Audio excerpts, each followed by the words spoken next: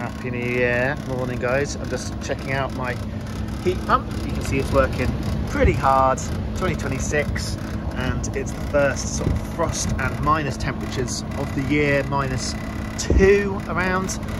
Um, so you can see it's still blowing cold air, it's sort of frosty at the front, frosty on the top.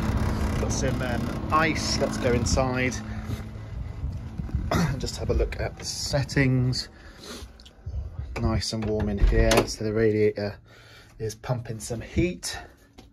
And we have, um, if we go on to, this is the heating setting.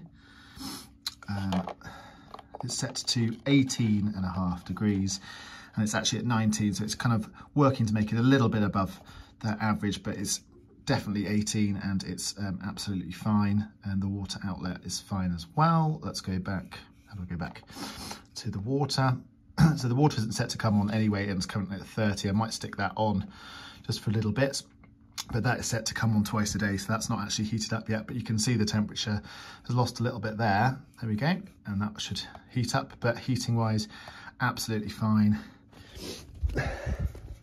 Yeah pretty good. So all is good so far with the heat pump